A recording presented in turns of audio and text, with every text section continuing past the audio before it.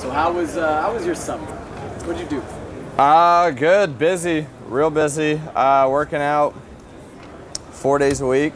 Okay. Uh, Monday, Tuesday, Thursday, Friday, throwing seven on seven, three days a week. Yep. Um, and then every once in a while, if I can, I'm from Spokane, so you know I'm 80 miles away from home. If I can, getting out to the lake for uh, for a weekend, so I got to do that t- two or three times. So uh, been, been a good summer. No trips to Vegas. No trips to Vegas. No. Too bad. Gotta Went- get on that. I went to Vegas last year. Okay. I went to Vegas last year for my buddy's 21st, so How was that? it was fun. Were you 21? I was. I was. Kind of got to beat him. Yeah, exactly. It was a good time. Good. It was a good man. time. Good. Um, you guys are in year three. Yeah. with Mike Leach now. Um, do you feel like his culture is is totally like all over the program? At this Yep, point? 100%. 100%. Um, really excited about what we got a chance to do this year. Um, got a chance to set some, some records offensively and uh, got a chance to surprise some people. You know, we got we got some talent coming back. So like being a quarterback in that offense. Uh, it's a lot of fun and really hard. Um, you're uh, you call I call 70% of the plays. Um, Coach Leach will just give me a formation, then it's my job to call the right play. Um, you know, but it's fun to wing it around. You know, 89 times like we did against you guys, and uh, um, you know, but at the same time, it's tough. You know, if you're throwing it 89 times, you know the windows are going to be that big, and uh, so we're we're trying to run the ball a little bit more this year, and uh, and we'll be all right. Most passing attempts ever. Is that right? Yeah, tied tied it, tied the record. Yeah. the record? Oh, I don't know. I don't know. That's not a. That's not that great of a record. right. Right.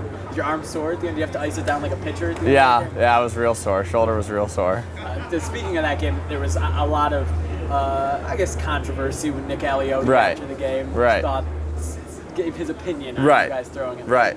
What did you think? What do you? Um, I mean, I I guess I understood where he came from a little bit, but I just, um, you know, the game of football is trying to win, and we were down, you know, 25, wha- 22 points, whatever it was. So I know if there's any time on the clock, I'm going to try to score.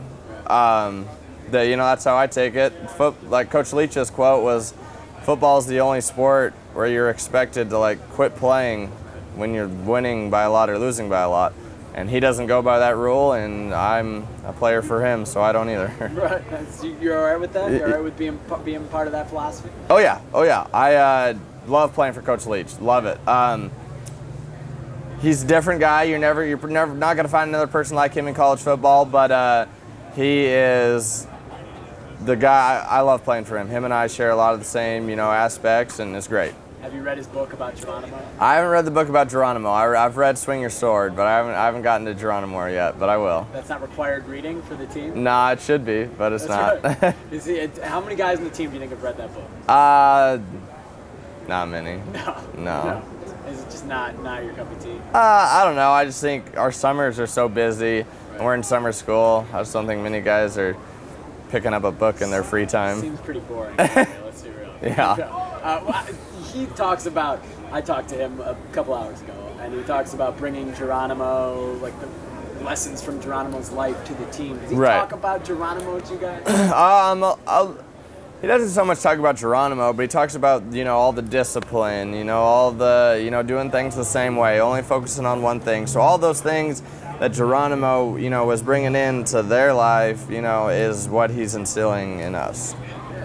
um, coming into this season, what, what do you guys need to happen for to be successful? Um, we it's a cliche it's a cliche answer, but really we need to just worry about winning one game a week. We play so many young kids, 18, 19 year olds, that to have them focusing on only you know winning one game a week is just our biggest deal. You know, in teams past, we had really made a big deal about you know we want to be the first team to make it to a bowl game. We want to be the first team to win eight games. Da da da da. And none of those things got accomplished. So we're, we're just focusing on winning one game a week, and that's really all we can do. You guys have brand new building, right? Yeah. Brand new facilities. I, I don't know if it was Bill Moos or Mike Leach that said it's the best facility in the country.